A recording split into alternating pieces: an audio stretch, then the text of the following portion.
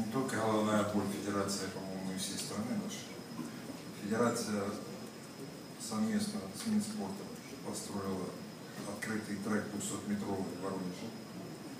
Э, Федерация самостоятельно передала и построила за счет собственных средств велотрек Крыму 200-метровый и Майкоп. Все эти спортивные сооружения, которые дополнительно к существующим, которые вы перечислили, будут способствовать только подготовке спортсменов. Высокий уровень спортсменов, естественно, должен быть 250 метров. Значит, поэтому наш руководитель Игорь Викторович постоянно муссирует этот вопрос. И Виталий Леонидович Мутко, который нам обещал по всем интервью, все это слышали, построить федеральный центр велосипедного спорта в городе Сочи.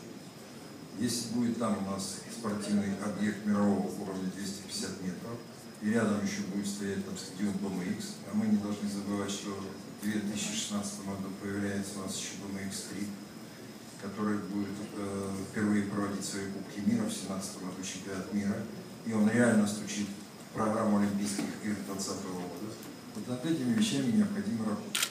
Потому что Сочи будет способствовать проведению соревнований самого различного уровня, начиная от чемпионата России, заканчивая чемпионатом мира.